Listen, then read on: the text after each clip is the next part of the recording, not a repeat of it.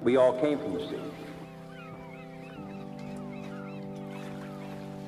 You know, it's it's different. It's uh, it's a it's a bit of an old-fashioned way of doing things.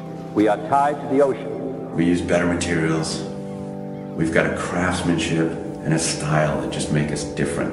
And when we go back to the sea, Our winches are, are made using cutting-edge manufacturing, but at the same time, we still have the human touch in every winch that ensures the absolute best finish and quality. we have salt in our blood, in our sweat, in our tears.